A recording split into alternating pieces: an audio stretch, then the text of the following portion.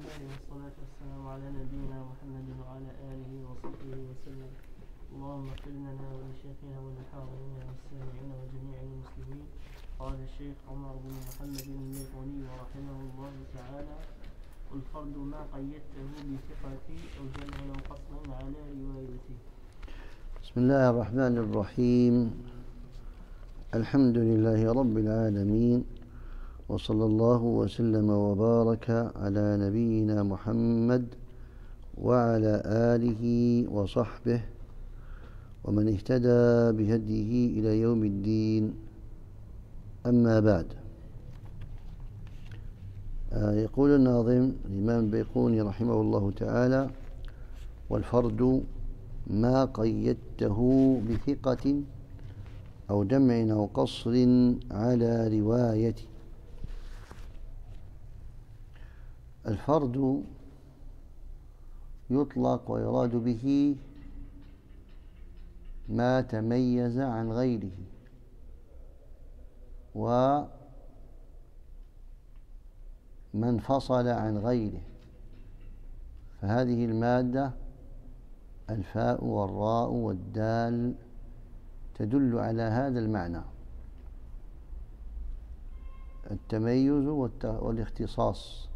تميز عن غيره اختص بشيء عن غيره. قال انفرد. فتميز واختص بشيء. ومنه قوله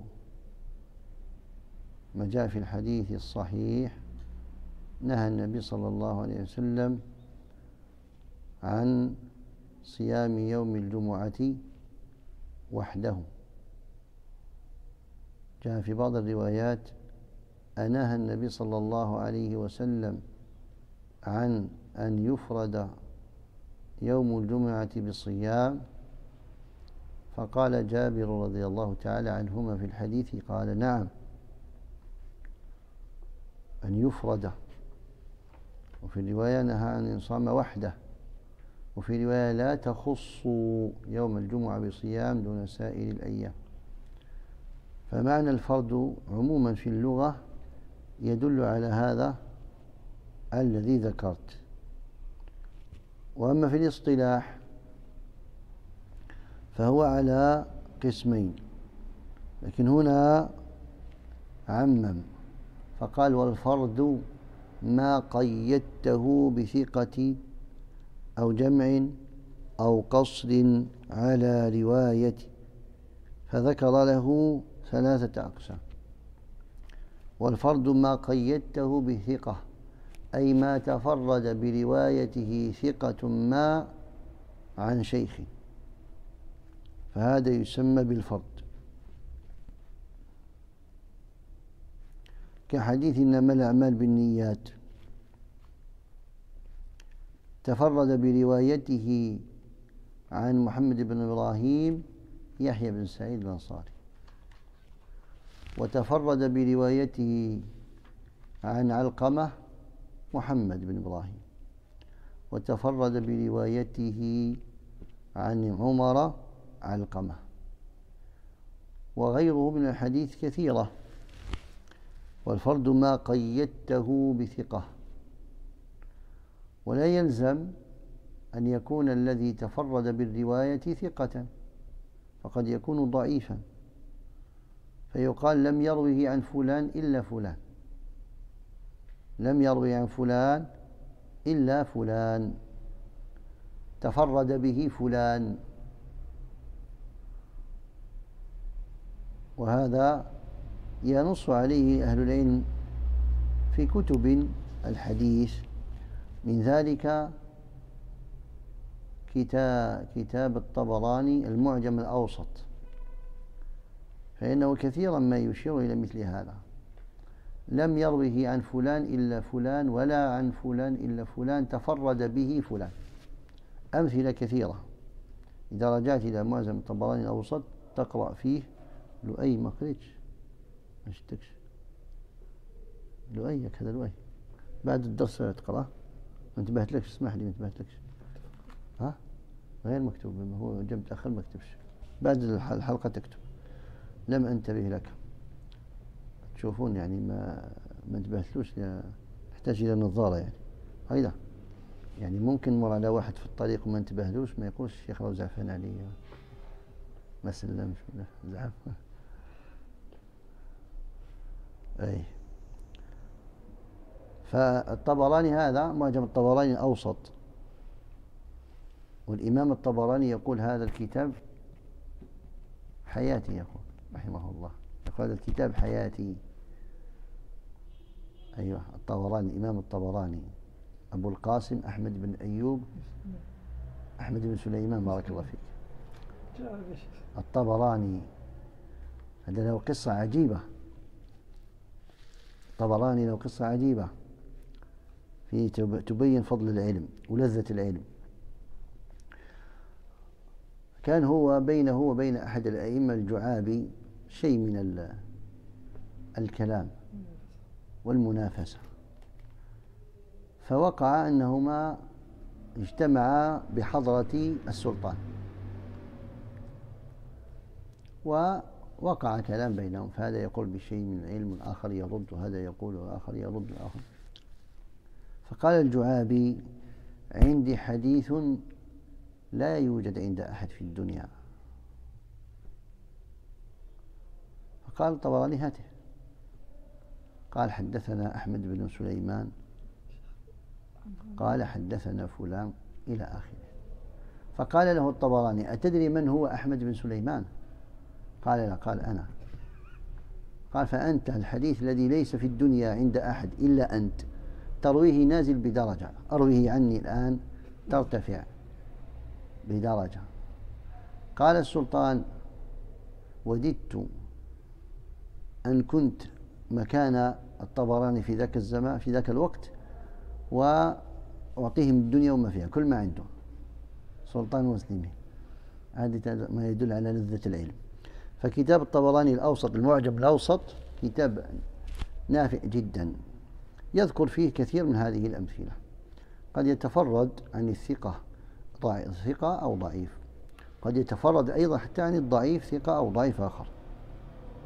وهذا معجم الطبراني أو مطبوع مطبوع طبعتين طبعة بتحقيق محمود الطحان الشيخ الدكتور رحمه الله توفي قريبا وطبعة أخرى أحسن مطبوعة في دار الحرمين بتحقيق الشيخ آه، طارق عباد الله وأبو معاذ كذا آخر أظن. لا طارق عباد الله وآخر وهذه الطبعة يعني آه، أحسن من حيث الجودة وتحقيق أصل فهذا الكتاب تقرؤون في أي جزء منه تفتح تقرأ تجد هذه أمثلة كثيرة. فإذا قال وأيضا يشير إلى هذا الانفراد غيره كالبزار في مسنده ومثل كتاب آه، الطبراني الأفراد الطبراني الذي اهتم به ابن ظاهر المقدسي في كتاب آه، سماه طبع بالأطراف. أطراف معجم أطراف الأفراد والغرائب. جمعه ابن طاهر المقدسي وأصل الكتاب للدار قطني. يذكر فيه الأفراد كذلك. نعم. والفرد ما قيدته بثقة أو جمع أو قصر على رواية. أي أن يرويه جمع من أن يتفرد بروايته جمع دون غيره ولهذا إذا صار الإنسان يقرأ في كتب الحديث تجد أن هذه رواية تفرد بها أهل المدينة.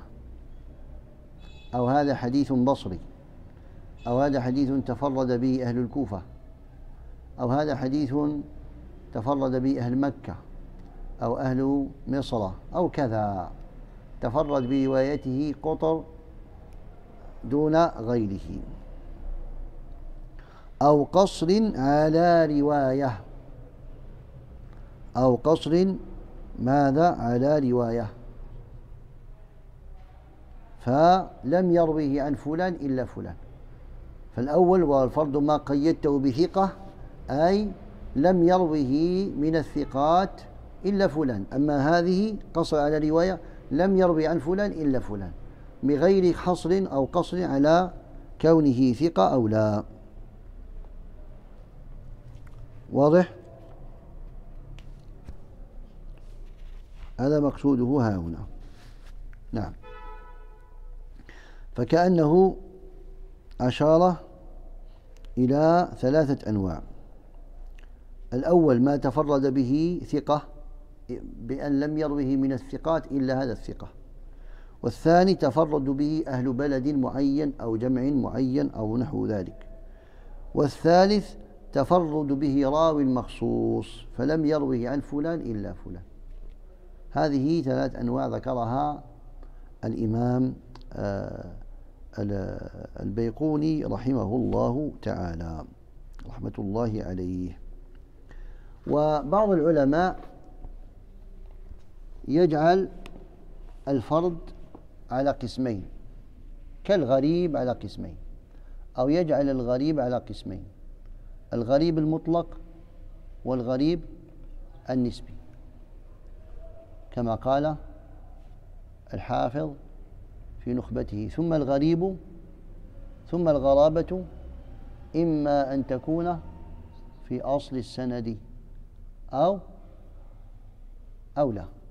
فإن كان في أصل السند فهو الغريب فهو الغريب المطلق. وإلا فهو الغريب النسبي. فهو الغريب المطلق ويقل إطلاق لفظ الفرد عليه. أو الغريب النسبي ويقل إطلاق لفظ الغريب عليه. هذا يدل على أن بين الغرابة والفرد تداخل. عندنا الغرابة المطلقة وعندنا الغرابة النسبية. إذا كان واحد ما فهمش يقول ما فهمش. ما تخلوش المعلومات تروح عليكم هكذا. ها؟ طيب. الغريب المطلق ما هو الغريب المطلق؟ يعني لم يروه إلا فلان. مثل حديث إنما الأعمال بالنيات. لم يروه إلا عمر من الصحابة الكرام. ولا عن عمر إلا علقمة ولا عن علقمة إلا محمد بن إبراهيم ولا عن محمد بن إبراهيم إلا يحيى بن سعيد. هذا غريب مطلق هذا غريب مطلق. ويقل إطلاق اسم الفرد عليه فهذا يطلق يقال غريب. يقال غريب. أو ألا تكون الغرابة في أصل السند. بمعنى أن تكون الغرابة بالنسبة إلى شيء معين. وهذا الذي يسمى الفرد. فإن كانت الغرابة في أصل السند وهو الذي سبق قول البيقوني فيه وقل غريب ما روى راو فقط. وقل غريب نعم. مخرج إيه. يعني دي بعد ينتشر الحديث؟ نعم. هكذا. وبعدين ينتشر الحديث. يعني وبعدين ينتشر الحديث. أو اللي هو مخرجهم. نعم. وقد يكون الأصل والمخرج أصل مخرج أصلي ومخرج فرعي. واضح؟ يعني مثلا حديث حديث يرويه أبو هريرة من الصحابة الكرام يعني أبو هريرة وعمر عبد الله بن عمرو العاص وعائشة وأبو سعيد الخدري وكذا. أبو هريرة يروي عنه كم؟ جمع. وكل واحد من تلاميذ أبي هريرة لأن تلاميذ أبي هريرة كثر منهم المدني ومنهم المكي ومنهم البصري ومنهم الشامي. أبو هريرة قد خرج وتولى القضاء. وتولى الإمرة في الشام فعندنا روة فأصل المخرج المطلق أبو هريرة. نأتي الطبقة اللي تحت. هذا عندنا روة كثر نأتي إلى الراوي عن أبي هريرة مثلا الأعرج. ها؟ مدني. فهو أصل السند بالنسبة لمن مخرجه في المدينة. ويأتي رواة آخرون. وهكذا. فعندنا أصل السند مطلق وفرعي أصلي وفرعي. نعم. إذا قلنا الغرابة أن يتفرد بالرواية راو واحد. هذا يسمى الغريب يسمى الفرد لكن يقال الغريب يقال غريب. فالاسم يطلق عليه الغريب. الاسم يقال غريب. ولكن الفعل أكثر ما يستعملون الفعل ماذا؟ فعل التفرد. يقال تفرد به فلان. لكن في الاسم يقولون غريب لا يقولون فرد يقولون غريب واضح؟ ولا يستعملون قليل ما يستعملون أغرب به فلان واضح؟ إذا الغرابة المطلقة هو أن تكون في أصل السند مخرجه الأصلي أو الفرعي بأن يتفرد برواية راو واحد واضح؟ والفعل يستعمل التفرد. يقال تفرد به فلان لكن يسميه نسميه الغريب الغريب المطلق. نسميه الغريب المطلق. وقل ما يقال أغرب لا يقال. القسم الثاني الغريب النسبي وهو غرابة نسبية أي بالنسبة إلى كذا. واضح؟ بالنسبة إلى كذا. يعني مثلا حديث ما يرويه جمع من التابعين جمع من التابعين عن جمع من الصحابة. ولكن لم يروه عن صحابي ما إلا واحد. يعني هذا الحديث مشهور عن صحابي فلان مثل حديث الاستخارة مثلا. ولا حديث الدعاء هو العبادة. جاء النعمان بن بشير وفلان جمع من الصحابة. لكن قد يأتي صحابي ويروي لنا هذا الحديث عن صحابي. يأتي راو ويروي لنا هذا الحديث عن صحابي ما فهنا تفرد نسبي. يعني بالنسبة لهذا الصحابي لم يروه عنه إلا فلان. وإلا فالحديث مشهور عن غيره. عن صحابي آخر أو جمع من الصحابة. واضح؟ فهذا غريب نسبي. وهذا الذي يسمى في ماذا؟ يكثر عليه إطلاق اسم الفرد. هذا حديث فرد. تفرد ويستعمل لفظ التفرد تفرد به فلان. أو أن يكون التفرد بالنسبة بالنسبة لماذا؟ لجمع بالنسبة بالنسبة لراو أو بالنسبة لجمع. يعني حديث مخرجه عن أهل البصرة لم يروي عن أهل البصرة إلا فلان. أو أهل الكوفة أو أهل المدينة أو أهل مكة أو أهل مصر أو غير ذلك. واضح؟ أمثلة هنا ذكر أمثلة. حديث عمر الخطاب أنه سأل أبا وائل الليثي ما كان يقرأ به رسول الله صلى الله عليه وسلم في الأضحى والفطر؟ عمر يسأل أبا واقد الليثي أي الصحابيين أشهر عندكم عمر ولا أبو واقد؟ عمر. ها؟ وهو أول في الإسلام. نعم. أيوة. الذي يقرأ السنة وقلبه صاف عن الصحابة كيف يفسر هذا الحديث؟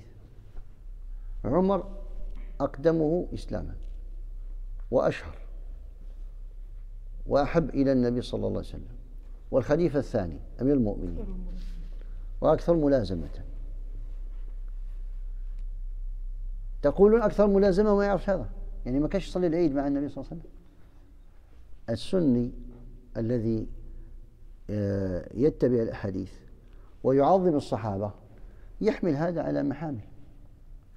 يحمل هذا على محامل. من باب المذاكرة. عمر قال كنت أتناوب مع رجل أنصاري. أنزل أنا إلى النبي صلى الله عليه وسلم فأسمع ما يقول وأرجع أحدثه. ثم أنشغل من غد بالسوق وهو ينزل فيسمع ويخبرني ما يقول. هكذا فيمكن أنه يستذكر ما قد كان فاته. باب مذاكرة. أو من باب زيادة العلم فلربما عند أبي واقد علم لم ليس عنده فاته ولربما يكون يخشى أنه نسي. ولربما يريد تعليمه. ما كان يقرأ فإن أجاب أكده. فصار الحديث مروي من طريق عمر أبي واقد. وإن لم يجب فيعلمه ويقول قرأ كذا واضح؟ ولكن الذي قلبه مريض أو يطعن في السنة أو في قلبه شيء عن الصحابة يقول لك هذا يأتي في مثا ليس مناقب عمر يقول مثالب يقول أنتم تقولون عمر أمير المؤمنين وخليفة الثاني وكان ملازم للنبي صلى الله عليه وسلم. الذي يلازم يحتاج أن يسأل ما يقرأ العيد. هو يعلم الناس وش يقرأ في العيد وليس هو الذي يتعلم ويسأل. هذا فعل من؟ فعل الروافض. فعل الروافض يقرؤون كتب السنة ليستخرجون مثل هذا. وفعلهم هذا في الحقيقة يعني آه، مردود عليهم. فينتبه الإنسان لهذا. سأل بك ما كان يقرأ به رسول الله صلى الله عليه وسلم في الأضحى والفطر؟ قال كان يقرأ فيهما بقاف والقرآن المجيد واقتربت الساعة وانشق القمر. هكذا جاء في الحديث. وهذا الحديث آه، عند مسلم. الحافظ العراقي قال في كتاب التبصرة والتذكرة آه، قال وقد ورد هذا الحديث من رواية ضمرة بن سعد المازني أو ضمرة بن سعد المازني عن عبد الله ابن عبد الله عن أبي واقد الليثي عن النبي صلى الله عليه وسلم. وهذا الحديث لم يروه من الثقات إلا ضمرة وقد روي من وجوه أخرى ضعيفة. ففيه تفرد هذا الثقة. مثال آخر حديث عائشة. لما استنكر بعضهم صلاة الجنازة في المسجد قالت ما صلى رسول الله صلى الله عليه وسلم على ابني البيضاء سهل وسهيل أظن اسمه إلا في المسجد سهل وأخيه ماذا قال الحاكم؟ قال تفرد به أهل المدينة وغواته كلهم مدنيون. وقد روي بإسناد آخر عن موسى بن عقبة عن عبد الواحد بن حمزة عن عبد الله بن الزبير عن عائشة وكلهم مدنيون. لم يشركهم فيه أحد. أو لم يشاركهم فيه أحد. هذا حديث مدني هذا حديث مدني. الحديث إذا كان مدنيا لا تخاف لأن أهل المدينة لم يفشوا فيهم كذب وما كانوا أهل خطأ ولا غلط ولا فشى فيهم التدليس. ولا فيهم تدليس نعم. ولربما ما يكون في أهل المدينة أهل مكة شيء من الإرسال قد يرسلون. أما التدليس فهذا كان بالكوفة وغيرها. هذا الغالب. مثال آخر. حديث رواه أصحاب السنن من طريق سفيان بن عيينة عن أبي وائل ابن داود عن ابنه بكر ابن وائل. أه؟ وائل ابن داود يروي عن ابنه. هذا يسمى رواية هذا نوع من أنواع الحديث يسمى رواية الأكابر عن الأصاغر أو رواية الآباء عن الأبناء. طيب لماذا أهل الحديث فعلوا هذا؟ قيدوا هذا النوع. حتى لا لا يرد عليك الخطأ. أنت لما يأتيك الرواية فلان يروي عن ابنه. ماذا تقول؟ تقول خطأ هذا. عندك مخطوط. مخطوط تقرأ. فتجد وائل ابن داود عن ابنه. آه. تقول الخطأ عن أبيه. الابن هو اللي يروي عن الأب وليس الأب يروي عن الابن. أو كبير في السن متقدم عن صغير. واحد يروي عن من هو في درجة أحفاده. تقول فيه خطأ في الكتاب. عوض أن يكون الصغير كبير كان كبير. فقيد العلماء الحديث هذا النوع. سموه رواية الأكابر الأصاغر وفي ضمنه رواية الآباء عن عن الأبناء. والسابق عن اللاحق وغيره. رواية الآباء عن الأبناء. ويقيدون. فإذا جاء مثل هذا تجد أن هذه السلاسل موجودة في هذا النوع من أنواع الحديث. فينبغي للحديثي والمشتغل بالحديث أن يكون على دراية بهذا قال عن الزهري عن أنس أن النبي صلى الله عليه وسلم أولى ما على صفية أولى ما يعني الوليمة وليمة العرس بسويق وتمر بسويق وتمر السويق نوع من القمح منزوع القشرة يعني كان وليمته متواضعة. صفية بنت حيي ها الإسرائيلية التي ينتهي نسبها إلى هارون عليه السلام فهي كما قال لها النبي صلى الله عليه وسلم إذا عيروك فقولي زوجي نبي وابنة نبي وعمي نبي. فزوجها محمد صلى الله عليه وسلم وأبوها الأكبر هارون وعمها موسى. فهي محاطة بالأنبياء رضي الله عنها وأرضاها. طيب. قال الترمذي حديث غريب. وقال ابن طاهر اللي قلت لكم من قبل هذا اسمه ابن طاهر المقدسي القيصر المقدسي. اي نعم توفى سنة 81 و500 أظن أو نحو ذلك. كتاب كتاب الغرائب والأطراف. هذا الكتاب للدار قطني مفقود غير موجود. لكن ماذا فعل ابن طاهر؟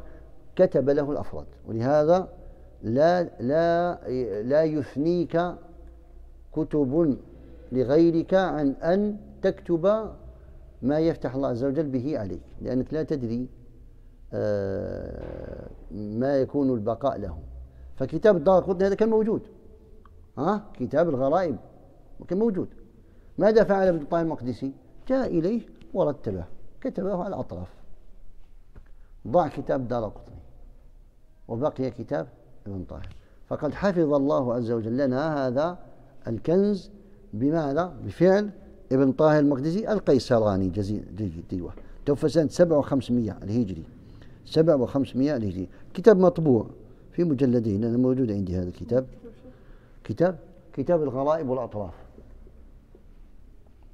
ماذا قال؟ قال غريب من حديث بكر بن وائل عنه تفرد به وائل ابن داود ولم يروه عنه غير سفيان ابن عيينة. لم يروه عن فلان إلا فلان. واضح؟ مفهوم؟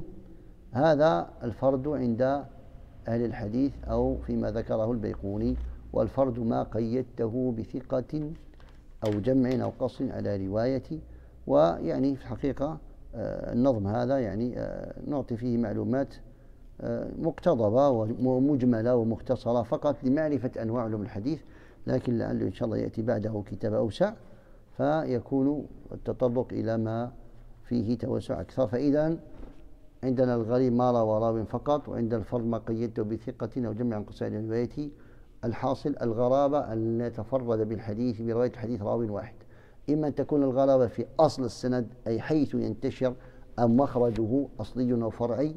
فإذا لم يروه عن فلان إلا تفرد به ثقة عن فلان لم يروه إلا فلان أو لم يروي حديث إلا فلان هذا الغريب المطلق نسميه غريب تفرد به فلان. أو تكون الغرابة نسبية.